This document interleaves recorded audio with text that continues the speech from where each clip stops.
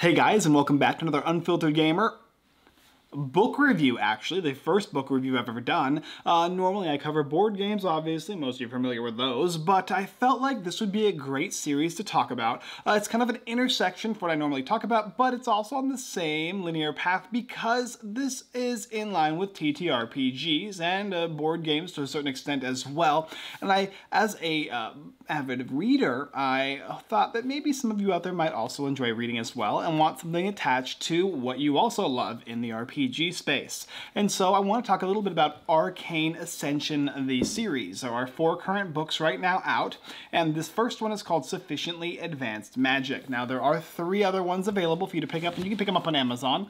Uh, there is the On the Shoulder of Titans, the Torch that Ignites the Stars, and the one I have currently unread, The Silence of Unworthy Gods. There's also a secondary series called Weapons and Wielders, um, and the first book is Six Sacred Swords, and then finally Diamantine all by Andrew Rowe. Uh, there's also a third one, I believe, from Weapons and Wielders, but because I haven't gotten through the fourth book in this series, and I have not read either of these two either, I felt like I should probably wait to pick that one up, even though I will likely read all of them. So what I'm going to do in this little review here is I'll cover each of the individual topics one at a time. Maybe I'll do like characters and world building and how closely it relates to our hobby and RPGs in general. What I liked and what I didn't like. And it might be that, I don't know, I'm to do some cuts in this thing here because I've never really reviewed a book before. So bear with me if you've ever if you've, if you've never seen a book reviewer, maybe uh, it won't be as bad. But if you have, then I apologize from the start. But let's go ahead and get into uh, the review for Arcane Ascension by Andrew Rowe. Specifically, the first book, and I'll kind of talk a little bit about the other ones as well. So the first thing to get into is just the world itself. If you are like a Harry Potter fan or like The Magicians, if you like that series as well, then Sufficiently Advanced Magic slash the Arcane Ascension series falls somewhere in between those type of books. Harry Potter is a little bit more of a light family read. It's pretty easy to read, and this one I would say is also fairly easy as well. And then eh, it's a little darker than that though, just a little bit. And then The Magicians is a book that's definitely darker. That whole series is very dark, and it all plays in this kind of wizarding world where you could imagine yourself playing a game on it, or of course living it through an RPG. Uh, this series starts off in a fantasy world and you start it just kind of jumps you right into a dungeon. This is basically a this book specifically starts off as kind of a dungeon crawl and it does that for a good portion of the book and then the rest of it is followed up with a harry potter-esque school type of a thing going on. This is the world building part of my review i guess. But yeah you you start off with this character. His name is corin and he has a sister named sarah which you'll learn about later. And he's in this tower and he's trying to get an attunement. An attunement is things he'll get on his arm or his, his hand or his face or somewhere that represents one of the different types of things that, that you can do as a uh, wizard or a sorcerer. And it's like, okay, some might be for mending or creating or dueling or uh, what have you. And there's a ton of different ones. There's unique special ones and things specifically registered for just a one little specific topic. And kind of like how um, Quentin in The Magicians has the ability to repair tiny objects. Uh, that would be technically his, um, whereas in this book, there are, are, many of them. It's like your proficiency, but you're given it based on accomplishing tasks in spires. And a spire is like a dungeon that you're trying to get to the very tippy tap top of. And each of the spires kind of has a god or like a like a, a beast of some sort trying to guard and protect it. And it's ever changing. It has this crazy labyrinth style thing. And he has to go as far as he can to a certain well, get to a certain point so that way he can accomplish his mission and be able to go to the school, the Hogwarts, the the Brakebills, right? He's going to school to become a wizard, but he has to complete this task first. And he's pretty adept. He's uh, adept at fighting, and uh, he has knowledge of like dueling whatnot. But he's also a very timid uh, character, and you notice this uh, going throughout the book.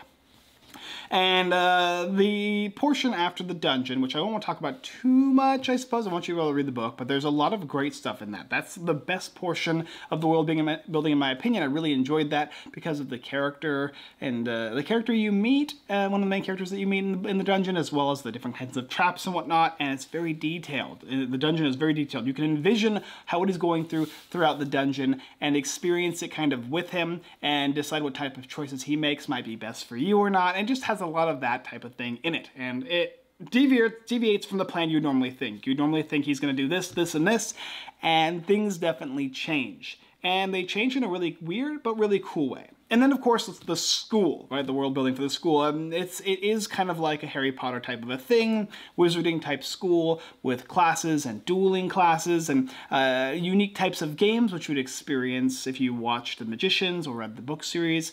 Um, they have their kind of like trials and tribulations and whatnot, and you care about grading. And then there's little like final exams or like the Triwizard Tournament has kind of like that twist to it in the school.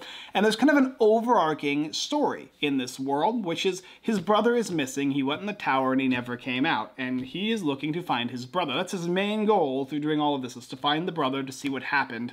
Mom's off, don't know where, and father is kind of a, a butthole. He's kind of a stern, not very nice guy, and he doesn't like his dad. They have this kind of a strange relationship.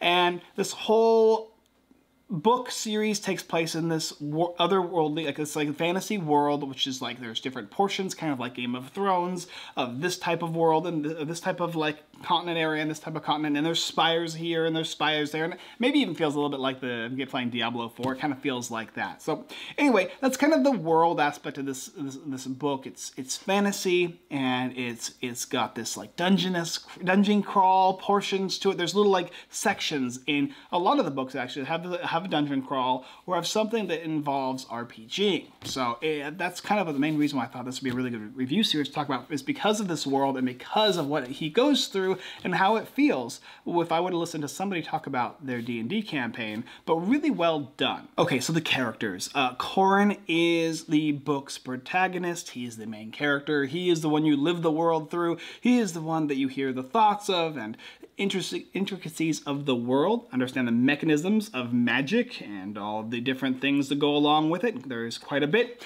And you also learn about him as well. And he is kind of a soft spoken, shy, a little bit cold at time type of a guy. He has certain interests he's looking towards doing. Not really relationship meant, he's not really meant for relationships, it feels like. Like he's a little pushed apart from other people, and he has a very hard time showing affection and whatnot.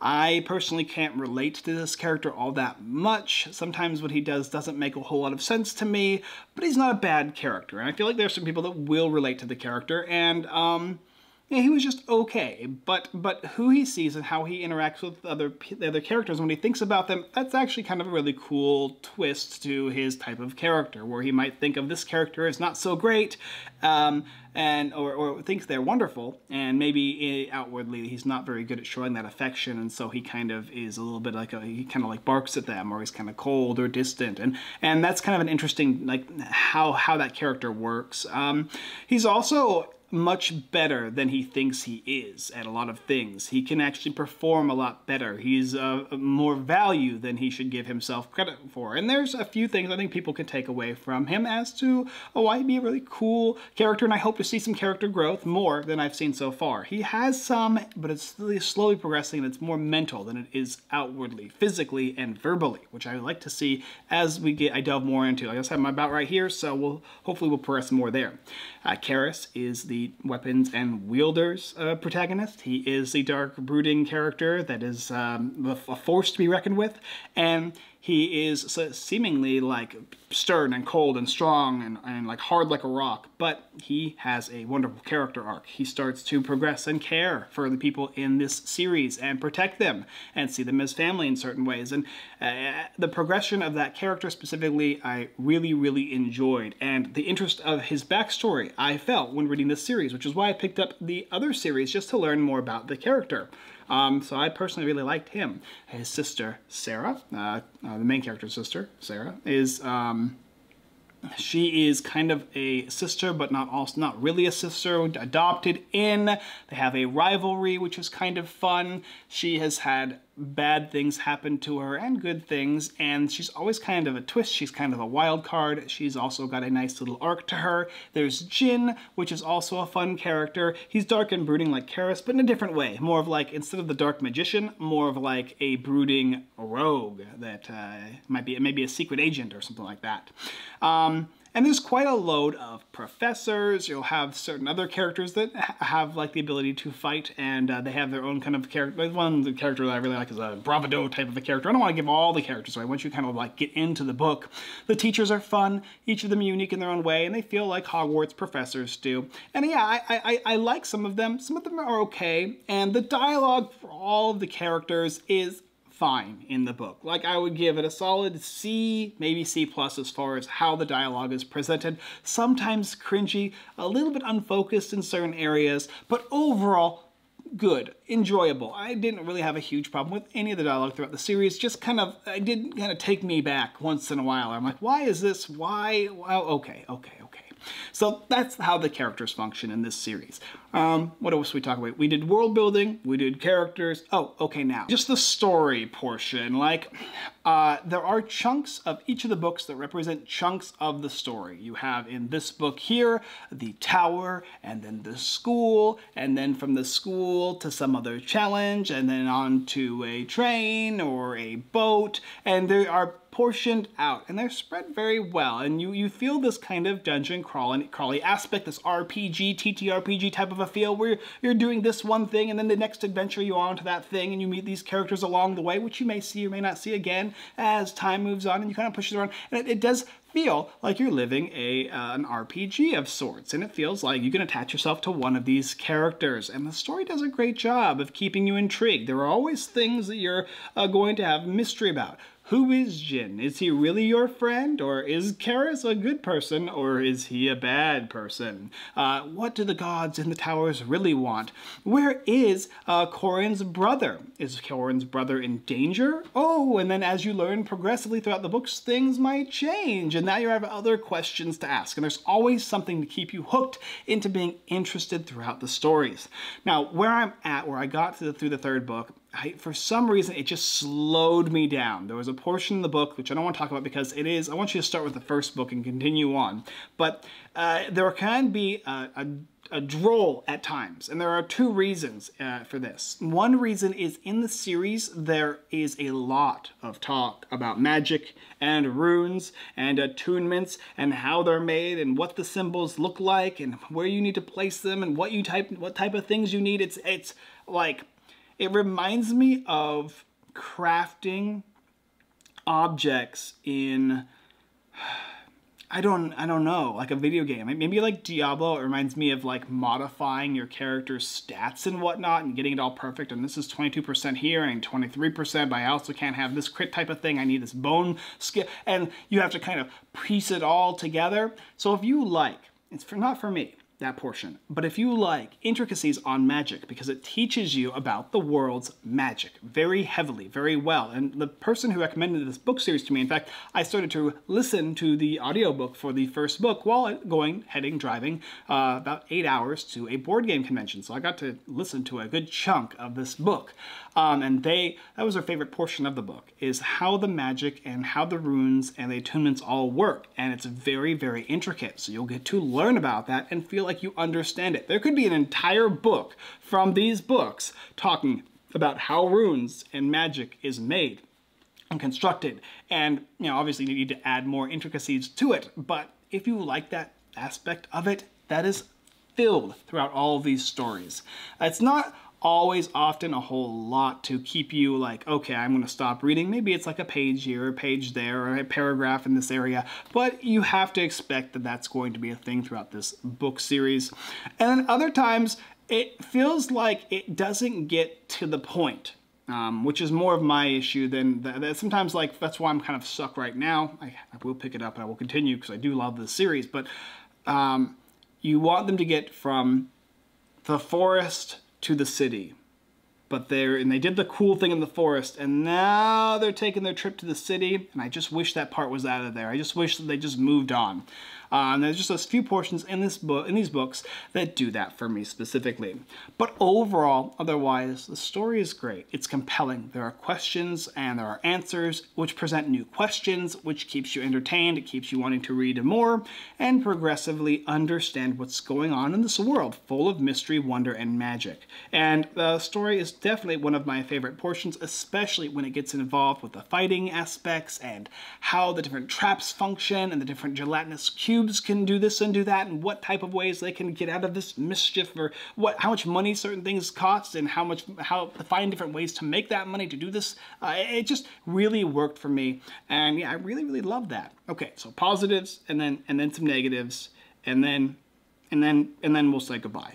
Okay, so before we do positive, just really quick, uh, I'm a board game reviewer. So uh, if you came here for the book series, hopefully I did a decent job for you. But I cover this series probably this is the only series I'll ever cover as a book because, or book series, because I feel like this does a great job of intertwining the board game slash TTRPG series or style of works into a book series. It's the only one I've ever read. Um, when I came across this, and I actually went through and got through quite a bit of the books, even though I'm I don't read as much as I used to, I was pleasantly surprised, and um, I very much so enjoyed it. Now, the, the, the, wonderful first thing about the positivity of this these books here is the adventures, the driven through the dungeon type thing, um, the ability to feel like you're part of the adventure and you could sense this as coming off of somebody's experience through if, if, if the author were to have told me hey the, all these books was just a D&D campaign I made and I took the best portions of it and I put it together and I created my own dialogue, uh, I would not be surprised. And that's actually fine. I mean, I enjoyed it, and that's what matters. It was entertaining. The story was well written. Um, you know, there were certain aspects that were unique to me that I have never like experienced before as far as how intricate magic is. This series is more intricate in the magic than The Magicians or even Harry Potter, right? Now, Harry Potter is you say the word, you do the thing, and it's done. The Magicians, it's a little bit more complex, but not that much more. And then this one here is involves uh, a lot of different things and certain power levels and leveling up and that kind of a thing. And there's, a lot to go into, um, which is, is while not my favorite to consistently read, I do really, really appreciate the differences uh, in this book compared to this series, comparatively to others that I have seen, where it gives you a little bit more of that world as far as its magic and its creatures. There's a lot of things that are very detailed in this book, even just the dungeon crawling. It's not like I go into the room and it's got a bat in it and I fight the bat. This is explained what he sees when he walks into the room what each walls kind of look like, the traps that might be set, his thoughts on what or what, and then the discussion before they enter that room as to what they might want to plan to do. And it just felt like this really cool campaign. And, you know, making those choices that might be dire or positive, and it can come out either which way, and it's never going to be exactly what you expect it to be as far as the different, like, trials and tribulations that this character and these characters will go through throughout the book series. And so I really, really, really loved that portion of it. Um, I also very much so liked Keras. I'm very excited to read the series of weapons and wielders, and hopefully once I get through this and then this, I can then start on these. And there's a third book that I'll have to pick up as well. And there's, this series should have, I think they said six or seven. So I need two, maybe three more books when they come out. But I have the whole series of this one. Um, yeah, uh, I, I, I, I think my other favorite aspect of this series is that it's just a little bit darker than Harry Potter.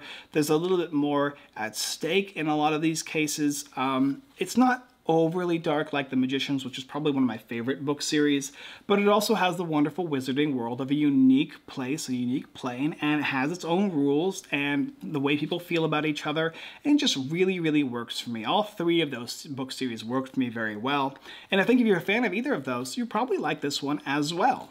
Um, but yes, overall, this is a great series for those of you who enjoy board games and also enjoy reading or tabletop RPGs and enjoy reading.